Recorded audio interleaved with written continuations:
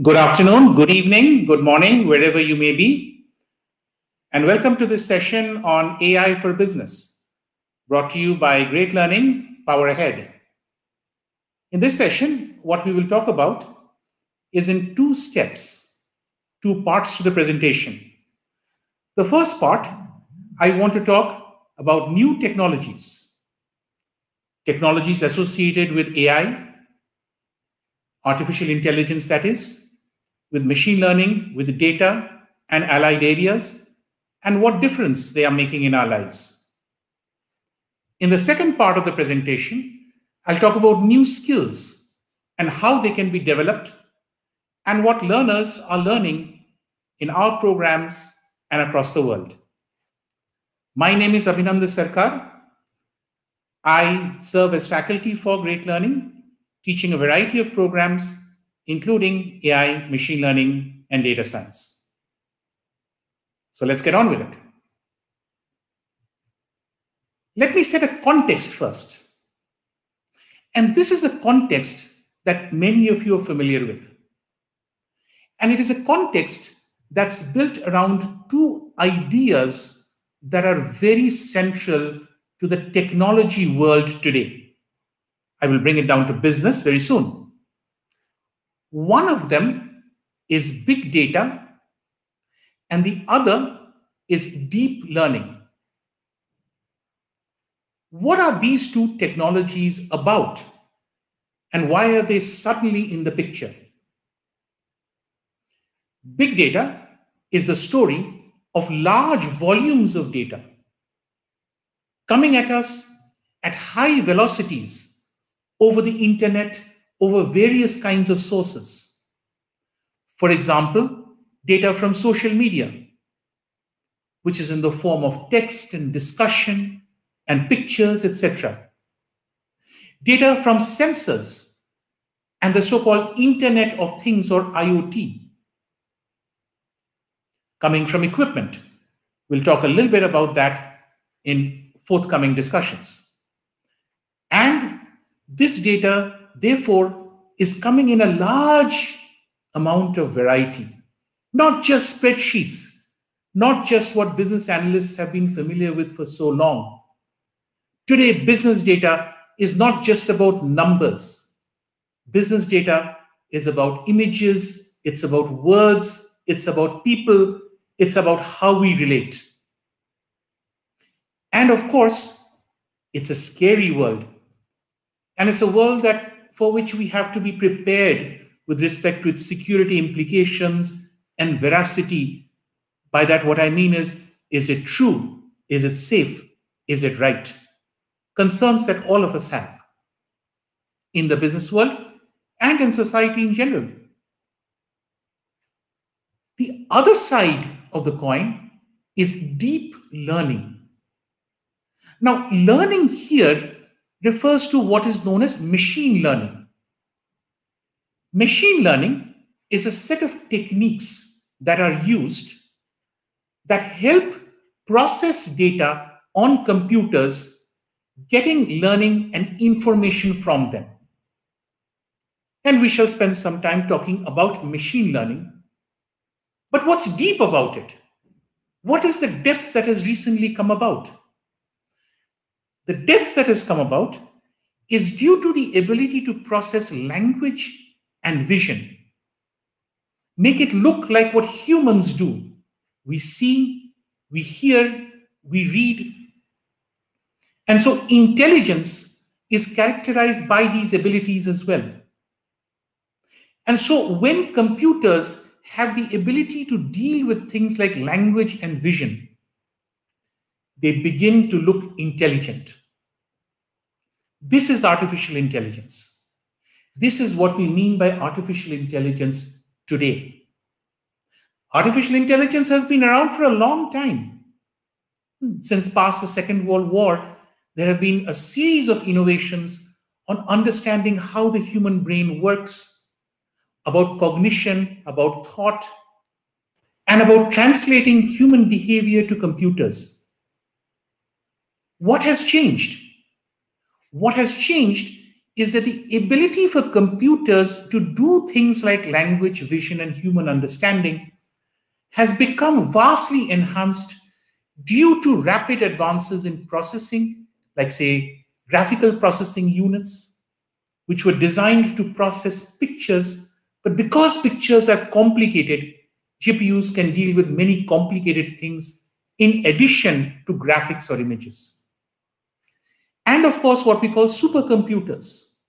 Supercomputers, like Superman, have multiple capabilities associated with them, including the ability to store lots of data, ability to crunch numbers very, very quickly, do lots and lots of calculations.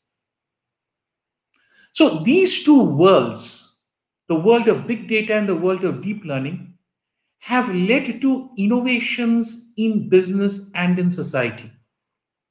But what kind of innovations are we going to be talking about? And what kind of innovations do upskilling programs now talk about? Let's take a deeper dive into what I mean by deep learning for language and vision. And no one is better at explaining that than the people who created it. This slide is from a paper from the journal Nature Reviews written by LeCun, Bengio, and Hinton, who are in some way the parents of deep learning as we understand it today. And let me run you through an example that they give, which explains why this is so powerful as a technique and why AI is making such a big difference. Imagine, if you will, a picture on the side of this kind, where there are people apparently selling vegetables. This picture has been input into a computer. The computer's job is to understand what this picture is of and then to be able to tell us so, to sort of read the picture, if you will, like a human, and then to communicate its content back to us like a human. And it does that using a series of techniques involving what are called neural networks. NN here stands for neural networks. We'll talk a little bit more about it. But for now, the idea is that there is a certain kind of neural network, a convolutional neural network, that helps understand what this picture is made of in different layers. Understanding the broad structure of the picture, saying, oh, there are things here, various kinds of units, entities here. Going deeper into what those entities are and trying to link that, the entities to each other. Now, once I've broken down what this is, I need to translate it back into something that I can understand or tell the human. And I can use another kind of neural network, a recurrent neural network, for example, RNN, to generate the corresponding language associated with the ideas or the types of things that are in these images. Producing at the end text like this a group of people shopping at an outdoor market. There are many vegetables at the fruit stand. This is something that we understand. But for the computer to make the journey from a set of pixels, which is what this is as far as the computer is concerned, to a string of letters and words which carry information to us is a major innovation and a major step. And it is this innovation that is driving so much of a difference and making so much of a difference to business, society, and governance and our way of life. So, just to continue a little further, the technology behind this. For example, it involves looking at pictures of this kind identifying various aspects of it.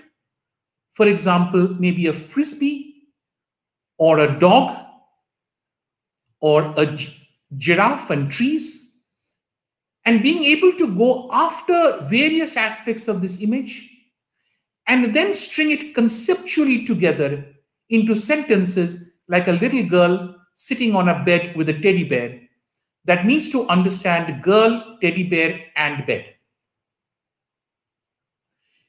This is what deep learning has done. This capacity to extract information from images, this capacity to work with language. I should say at this point all, while the examples that I've given have combined these two ideas, applications don't need to.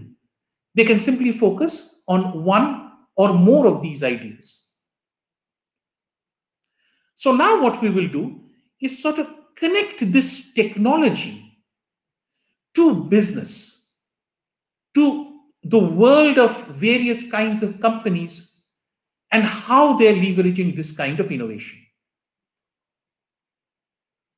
And I want to take that journey in steps. Going from, shall we say, business intelligence, which classically is the extraction of information from data like spreadsheets or dashboards. Going to machine learning, these algorithms that I described, mature versions of it like deep learning, all the action, leading to artificial intelligence. I also want to cut this story into two slices, static and dynamic. By static, what I mean is the analysis is being done in some sense in a one-off kind of way. And by dynamic, what I mean is that the analysis is done continually. And the intelligence is continually seeping in to the business, to the managers, and is being updated the way we see and update our intelligence. Like a child when it is growing up and developing new capabilities. So let's walk through, through this a little bit. The simplest kinds of business examples might involve using broadly data in the sense of numbers in a static one-off kind of setting. For example, businesses can build what are called scoring models. A model is simply a reflection of reality. It's you can think of it as an equation that says that if this happens, then this happens. And scoring means that I want to give a score to different things via a model. For example, I can score customers. I can say, tell me which customers will do something that's important to me. For example, purchase my product, hmm, a propensity to buy, as someone in marketing might say. This is good. Some things are not so good. For example, the propensity to churn, that is, leave my business, go to a competitor, or stop using this technology. So, therefore, there can be various kinds of models looking for positive outcomes, negative outcomes. Default on loans, for example, is a classical application in finance. These models are usually built based on data. Now, this data comes through simple actions that a customer might make, like an application for a loan, for example, or the purchase of a product or a response to a call. But these things happen continually as well. They're not static. So when we move to these kinds of machine learning algorithms in a dynamic kind of setting, then what happens? Then what happens is you regularly update your data. data comes in streams, shall we say. And your models, so to speak, are refitted for new services, new situations, even. For example, situations of, say, fraud. New kinds of fraud are being attempted by people who are up to no good. How can I get data to do that if the fraud has not happened again? listen and see continually is the easiest answer. When it happens, have the capacity to learn quickly. And of course, many of us are now seeing the consequences of disease. So, in a situation like we are in currently, an epidemic, things are not the same. Data is not the same. Business is not the same. how can we adapt? How can we make our data conform to the new situation and vice versa? That is dynamic modeling. And that kind of continual streaming and refitting of data is what modern machine learning tries to do. So, this is the story, so to speak, of numbers, still the story of numbers. But let me tie back to the fun things that I was talking about things like images and text and all of that. And so, when I now move to that kind of technology, what do my static models become? What do my scoring models become? Now, these are not just numbers. But in order to understand what the customer is going to do, for example, will they buy my product? Will they churn? I can look at what they are doing, for example, in social media. What are they saying? Do they like the product? What is the sentiment this, for example, is what is known as sentiment analysis, which is reading text and saying, is this positive or is this negative? Does someone like the movie? Does someone like my restaurant? Or is there something I should worry about and prevent churn from happening? I can do this with other kinds of data as well. So, for example, I can look at video feeds, I can look at images, I can look for various kinds of threats and risks that might be happening. And so all the analysis that I could do with data, I can now do with pictures, I can now do with text, with voice. And so this is very, very powerful because what it means is that the notion of data has changed. What it also means that traditionally, the communities that work with data, for example, those who did statistics, or those who work with databases now have very new skills available to them in order to be able to create new kinds of data streams. If I continue the story, to, for example, what happens in the dynamic world of AI when we're really learning things on the fly, so to speak? Can I incorporate feedback can my learning be reinforced by what is going on? Is the company doing well? Is something bad happening to my customers? Should I then change what I'm doing or should I reinforce it? Reinforcement learning algorithms buttress this learning by getting a feedback associated with this. And these feedbacks, for example, can form recommendation systems. We all know this, various kinds of recommendation systems you go online and see videos, and videos are recommended to you. You want to write an email, and the email will suggest what might be the next word. These are recommendation systems. And they can be done with various interesting kinds of data, leading to innovations such as chatbots, where Turing's old test, there was something called the Turing test, where there still is the Turing's test in a conversation. Can you tell whether the person you're conversing with is a human or a computer? Will it pass or fail the Turing test? Well, ask yourself do chatbots pass or fail the Turing test?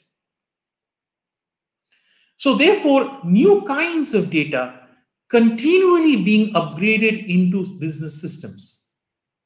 And what is that doing again to the world of business? As I said, it is leading to ways of communication. It is leading to worlds in which recommendations, in some way, are changing the way we do business, leading to various kinds of even new revenue streams such as advertising. And so, both on the positive, shall we say, growth side of business, such as purchases and recommendations, and the protective or defensive side of business, like default, disease, fraud, etc., this kind of new information is leading to a variety of new opportunities opportunities in information technology, opportunities in, in, shall we say, digitization of various kinds of businesses, and of course, opportunities that are, shall we say, old school. What do I mean by old school? Things that have been going on for a long, long time. For example, manufacturing. Humans have been making things for millennia now. What difference is it making? What difference is say, artificial intelligence making to manufacturing? And what we can think of as manufacturing is, of course, two things. One is something is being manufactured, but the other is information about what is being manufactured and how. There is a passage of information, shall we say, from the customer to the process, and a passage of product or service from the inputs back to the customer. A flow of information and a flow of material.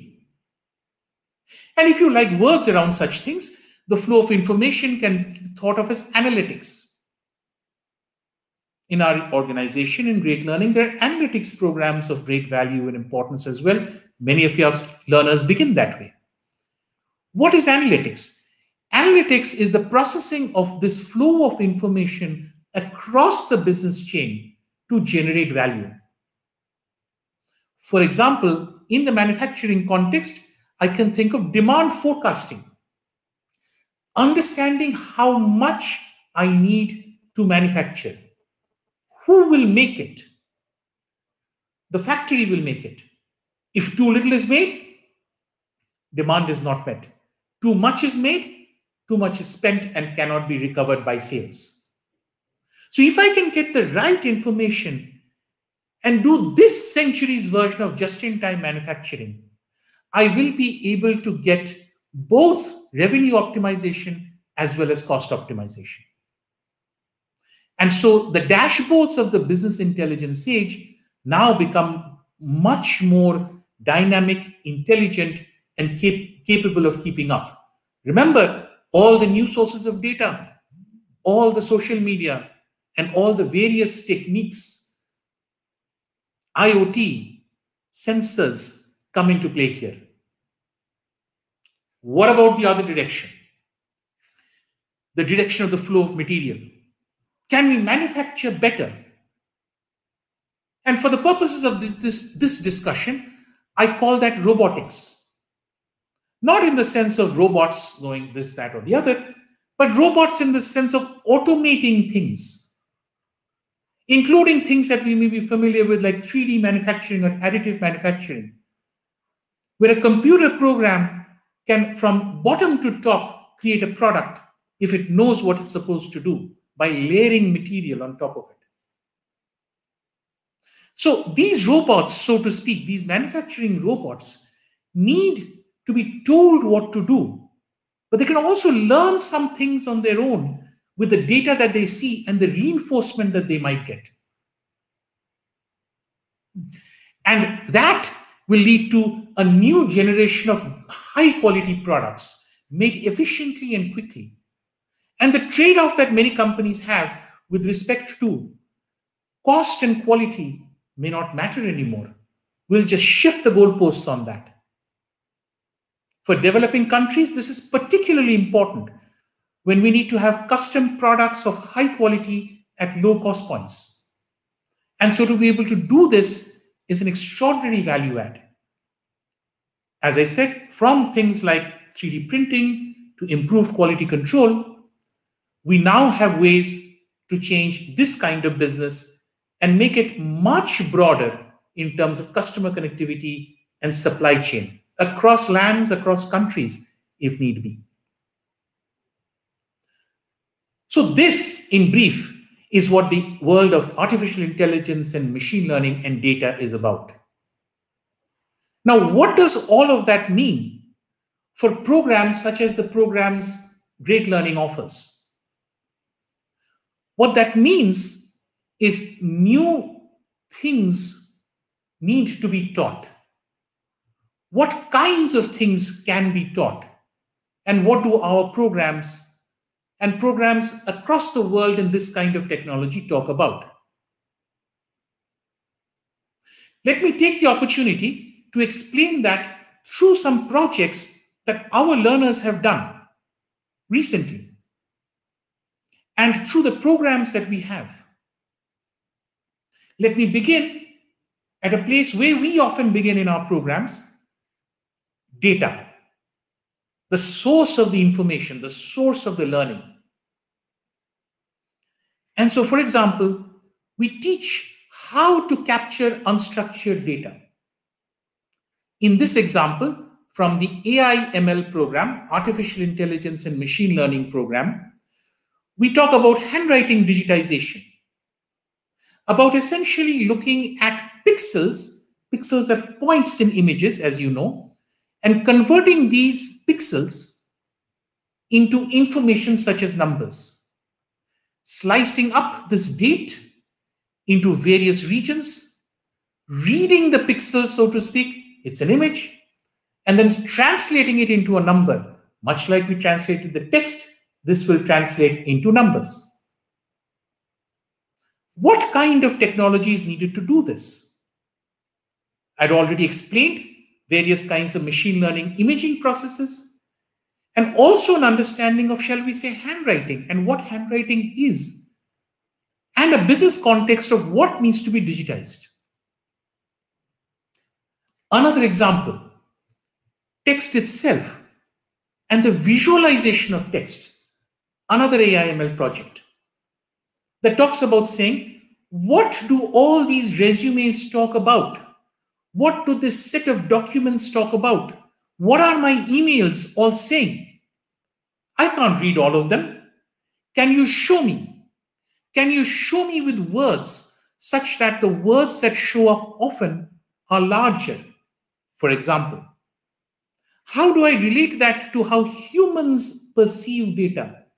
We perceive size with importance. And so, therefore, larger things are more important. So, our value system is being imposed on the data through an algorithm. This is old school visualization transported into the AI generation.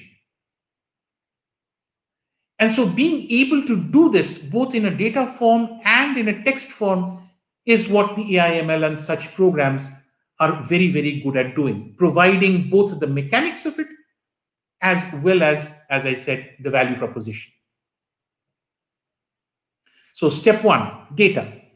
What's step two? Step two is the learning algorithms themselves.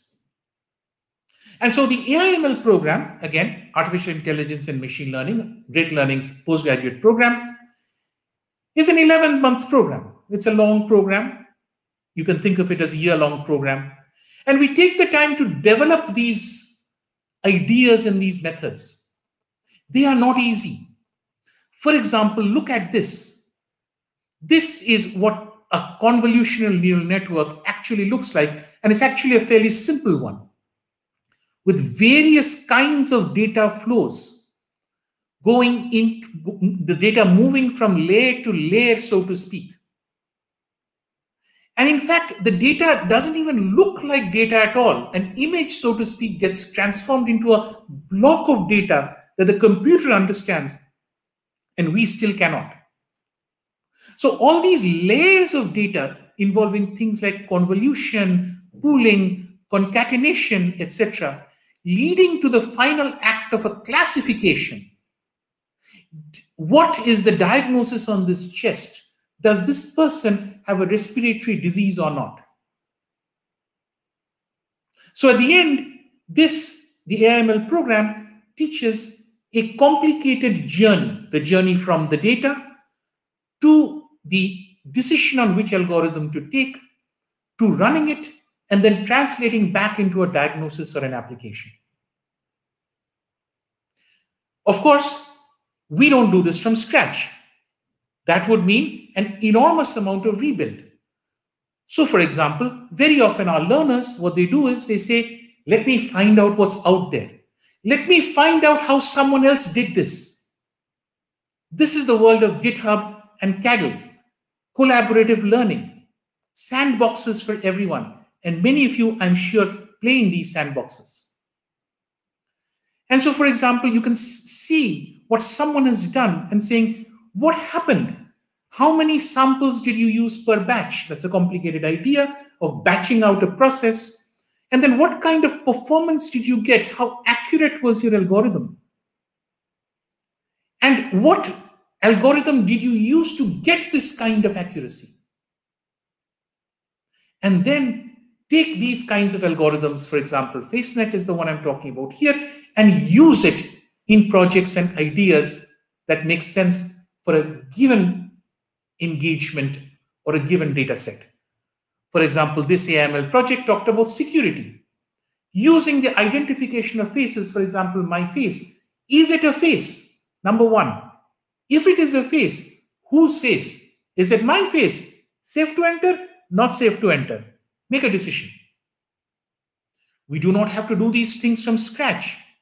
There is a community way of doing it in terms of the code, in terms of the data, and in terms of the algorithms. And our learners go through that journey over this year long process that I described. However, at the end, this is a business proposition. It needs to generate value. Now, the value, of course, could be social value. For example, let's say finding out whether someone is COVID positive or not by using a chest image it could be a personal value.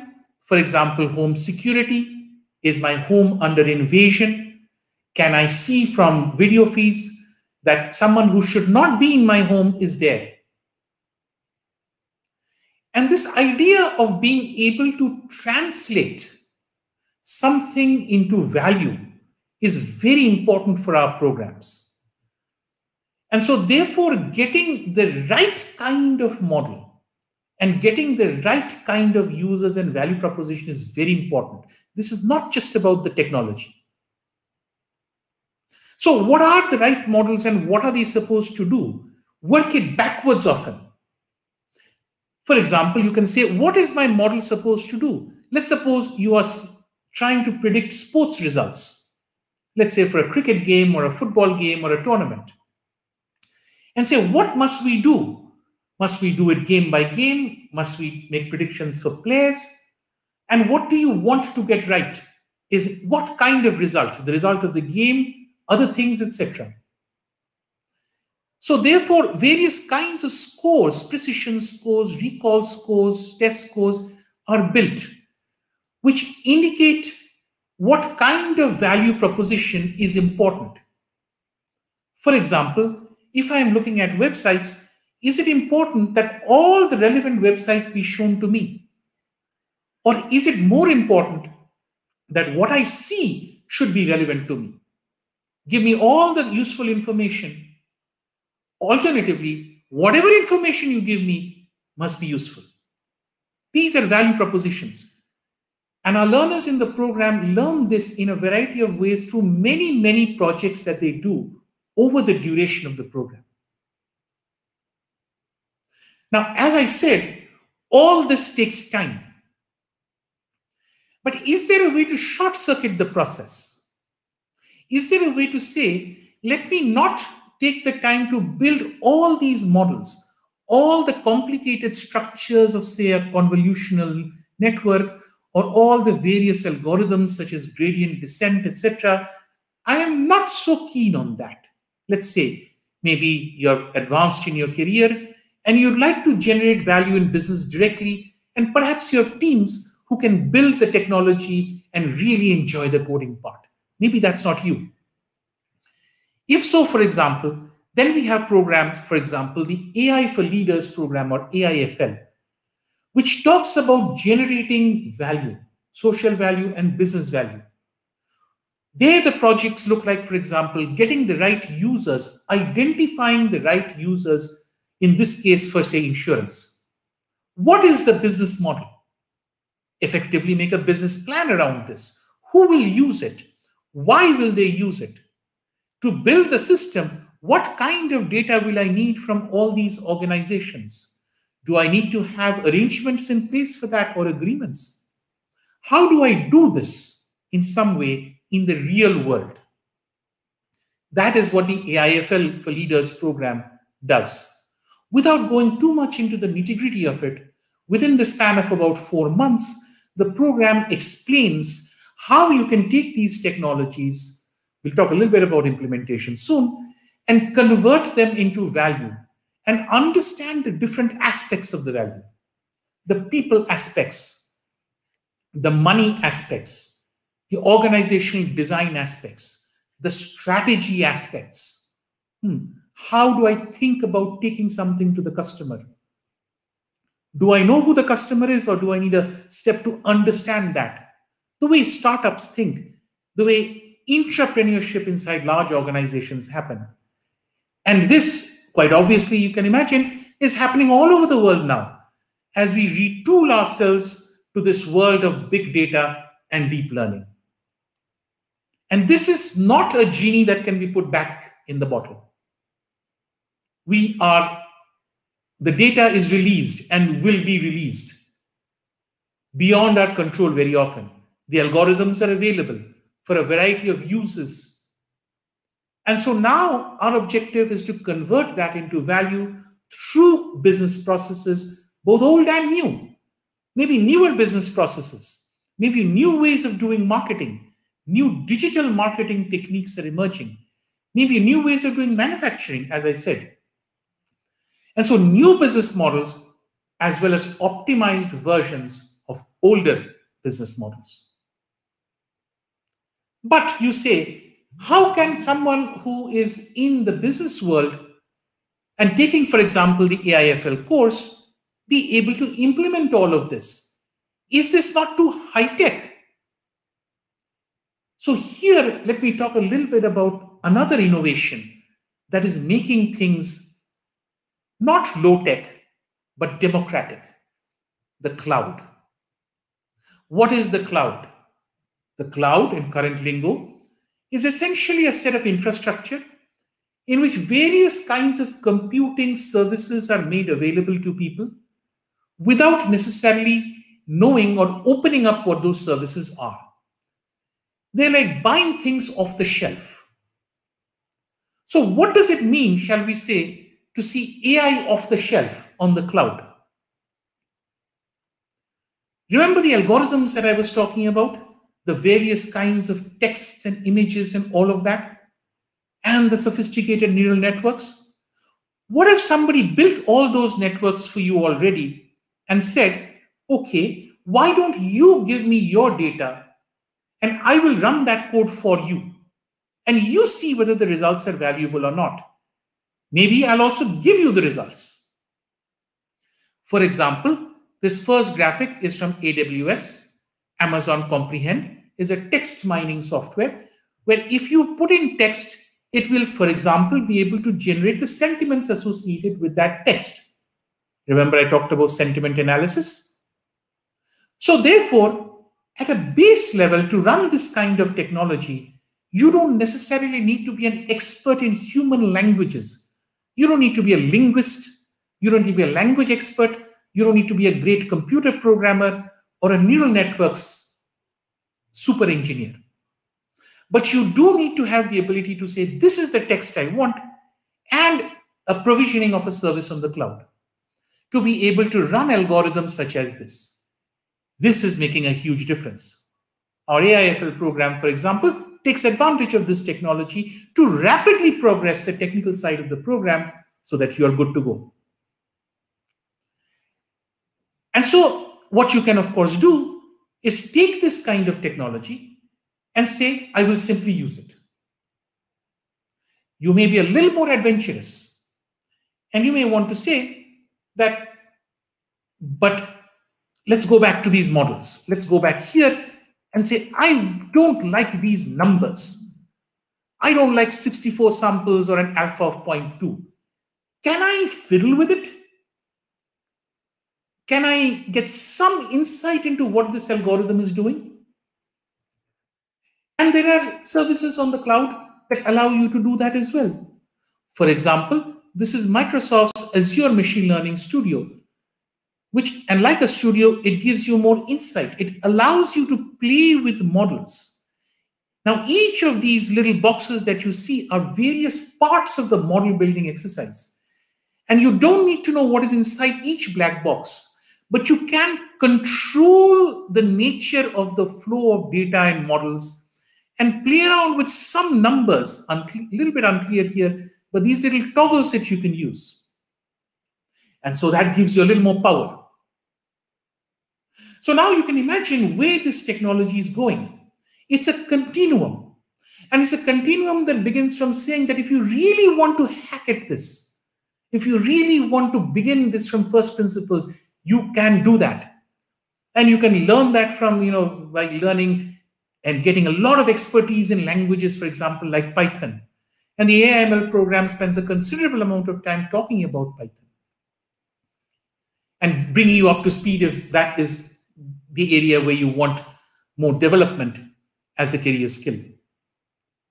Or you may say that that is not where I want to go, but I want to be able to use these techniques.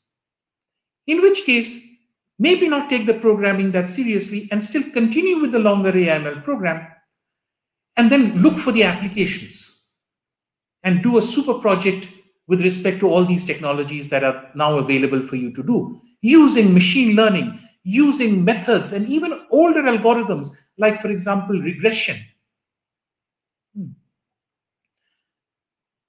Or you can say, I simply want the ability to deploy and tell people to deploy and use cloud techniques in AIML or also in the AIFL program, where, as I said, this is often used as a demonstrator and a shortcut so that we get to the business end and the leadership aspect of this quickly. And we can therefore run a shorter program. So, therefore, whatever be the skill development need that you have, whether it is in the sense of coding, whether it is in the sense of learning newer algorithms, classical algorithms in statistics and database, newer algorithms in deep machine learning and deep learning and neural networks, or whether you're about the applications, the projects, and the business value, increase sales, get a better market, reach out to customers, protect your business, protect the risk, identify the places where default is going to come from or where a fraud may happen. If that is what you're concerned with, do the project in both those programs. And that is where your major learning will be from. Whatever be the journey that you have in mind, programs such as these give you the upskilling abilities to come up to speed and fill in the gaps in your learning. We do not expect our learners to be expert coders, and we certainly do not expect them to be expert mathematicians or theoreticians in this field. We do not expect a Nature review paper or a new deep learning algorithm to come out. If you want to do that, many of our learners have gone on to publish papers in respected avenues. That's your choice. But that is, you don't have to have that level. The cloud, languages such as Python have democratized AI. It is now for many people, people like you and me. In all honesty, I am not trained as an engineer. I come from an old fashioned world. But this is such an exciting thing that I sort of have gotten myself engaged in it and now spend a lot of time working with it. And I've gone beyond my natural home of data. So, therefore, what I want to do is stop here now. Hopefully, I've taken you through a journey, a journey of what AI is about and why we should care and what the various widgets in it are, to what we do about it and the kind of journey that we offer to you through our various programs like AIML and AIFL. And there are various other obvious learning and community approaches available to you as well. So what I'm going to do now is I'm going to stop briefly, see what questions you might have, and then continue this discussion going forward. And of course, I'm welcome to um, uh, bring new points to the table. Let's see what you have.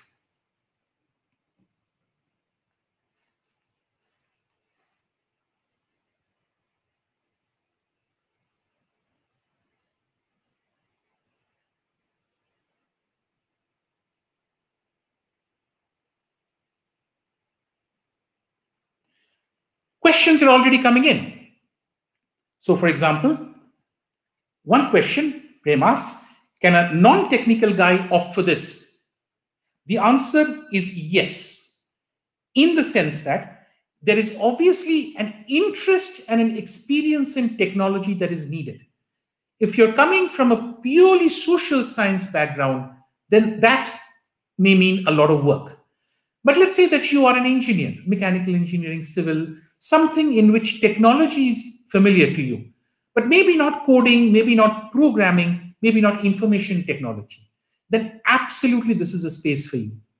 Many of the people who are making great advancements are coming from a world that is technology, but not necessarily information technology.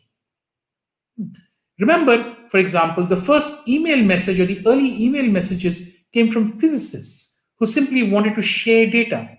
And the first internet came from just sharing particle physics data across organizations. It didn't come from computer technologists. So, yes, if you have a passion for technology and a numerical background from the sciences or from engineering, then this is certainly something that you can do. Divya asks, she's moving from doing architecture to here. That is a bigger shift. But once again, let's suppose in architecture you're comfortable with computers, say computer-aided design. You can do a 3D graphic of, an, of a house or a living environment or a space. And you can connect it with various things Let's say you can connect it with various aspects of cost of material. So you have the ability to work with computers and the ability to put various aspects of it together. And you're willing to put in the effort to do this, then yes. Or as I said, if you don't want to do this and avoid the coding, there are shorter programs that say, let me not go into the details of a programming language like Python and simply know how to use this with familiarity on the cloud, for example, that also remains a possibility. I'd urge you to think about this. In other words, quantitatively literate, but not necessarily um, information technology. So please keep the questions coming, hmm, and hopefully the questions will get to me. Technologies at play here, as you can see, I am reading. Hmm. Uh, there's a question on different sets of data giving precise results. How are results, shall we say, guaranteed? This is important, quite obviously. Let's say that you're building a COVID test. You want that test to be correct, right? You want it to be accurate. If you have the disease, you want to know, be sure that you have the disease. And conversely, how are these things done? So there are basically two ways in which this is done. The first way on the data side is to ensure that you have the right data in place, to ensure that you have enough data in place. Remember, volume and variety. So is my data coming from all the users who could potentially be using my system?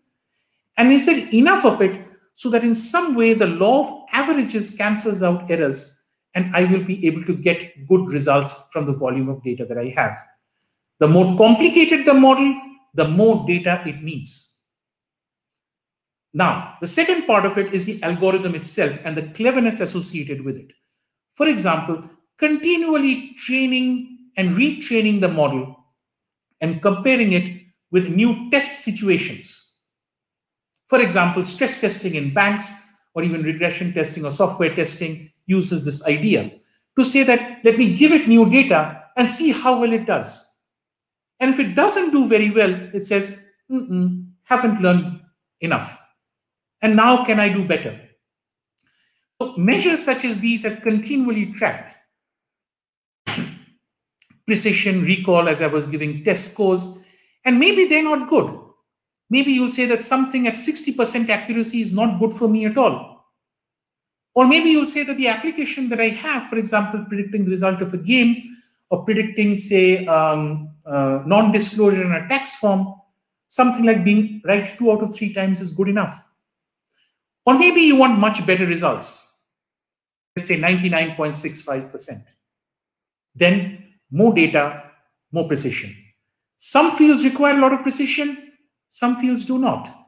A little bit of an advantage over the competitor may be all that you need, for example, in financial markets. Precision is set by the customer. The algorithm's job is to say, give me enough data and tell me how good you want me to be, and I'll see if I can tune the algorithm to get there. It's a journey, But that's what these programs are all about, both the data and the algorithm.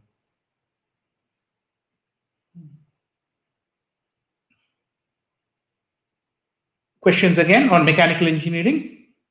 Jigar asks, um, again, as I had explained, if you have used computers for any kind of algorithms, even say opening an Excel spreadsheet or running some kind of design software, etc., I don't think email counts, but anyway.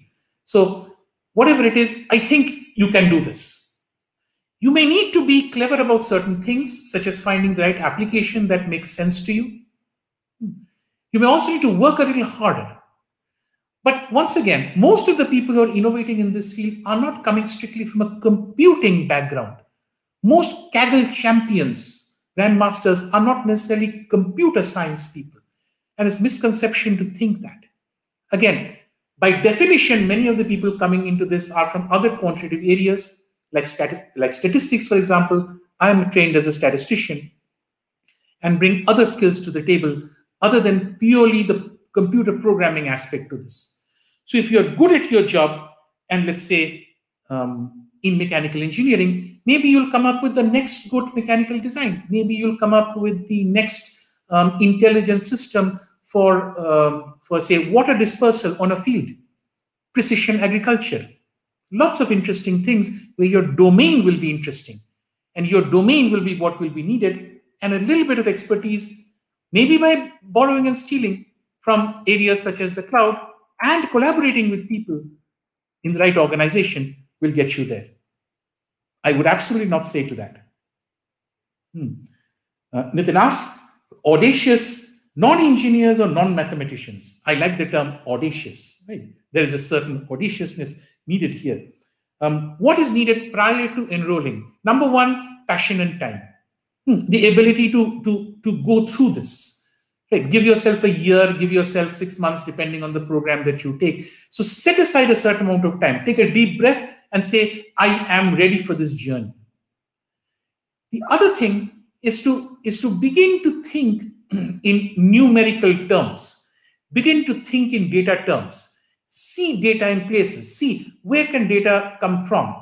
What kind of algorithm is likely to work here? And that can be worked on even using information, for example, that I gave.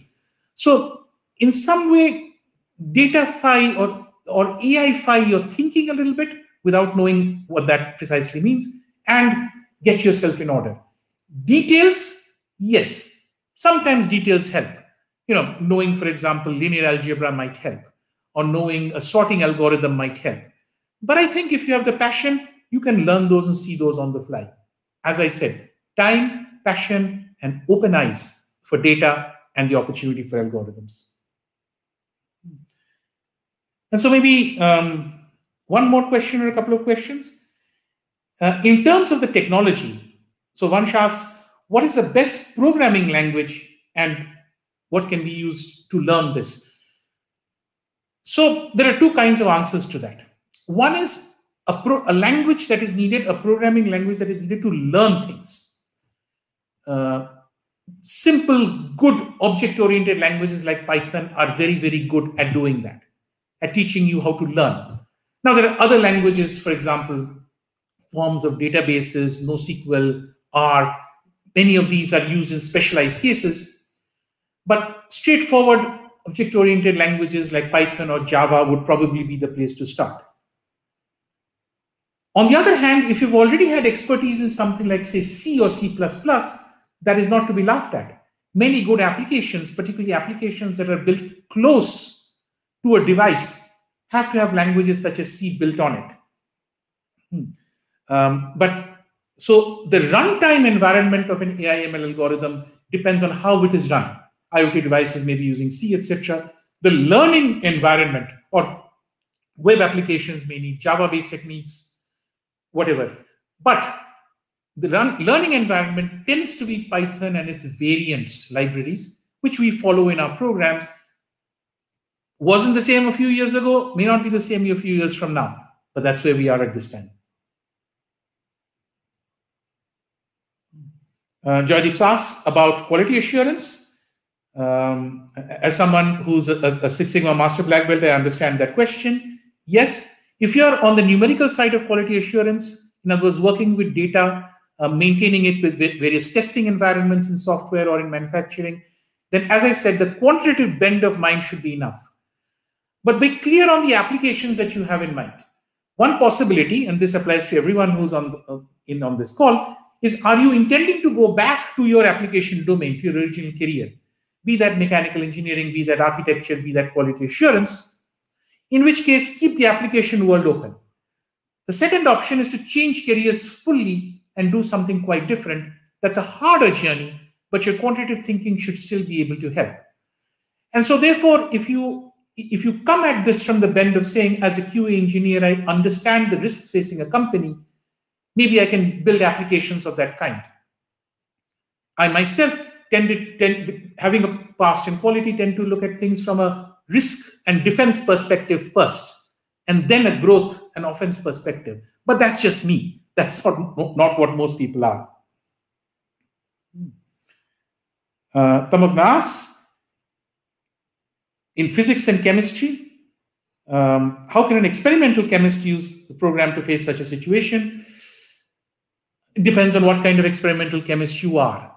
Hmm.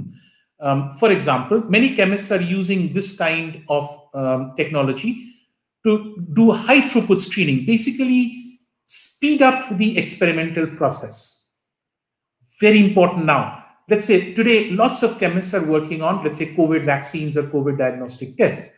And there is so many possibilities to do that. We can't do all those experiments in the few months that we have as people around us die. So most of these experiments are done within AI or ML systems, digitizing the process and saying, if this is the experiment that I would do, what is the most likely result that I will get? And if that result is looks to be quite negative in probabilistic terms, then don't go in that direction. So making things high throughput. Helping design molecules, for example, if that is the kind of thing that you do. Getting structures, quantitative structure activity relations, QSAR, what many chemists do, in order to be able to use these kinds of intelligence to say, if my molecule looks like this, this is how the atoms are arranged, this is the property it will have. One of the things we teach is called supervised learning, where the response is something, fraud, take up, risk, it's a human behavior. Doesn't have to be a human behavior, it can be a molecule's behavior as well. We chose business as a prototype, but rest assured, high throughputing of science is a major, major business concern today with implications for all industries and, of course, our lives. Hmm. So, if you are an experimental chemist, and many experimental chemists are working in this field, adventure awaits. Okay, so I think um, keep the questions coming. I may not be able to get to it. Someone from the organization probably will. Uh, stay in touch, everyone. And I think I hope you enjoyed um, this session. Uh, I certainly love being here. Uh, I love being a part of the uh, AI ML programs in Great Learning. And I actively have created and participated in, in the AIFL program, AI for Leaders program. Hope to see you there. Or if not, I hope to see you out there in the world, in your areas, or if you want a career shift, learning all these exciting things. Coding, no coding. Don't let this pass you by. This is a world of big data and deep learning. We have no choice but to join in and let's have fun doing it along the way. Okay. Thanks very much.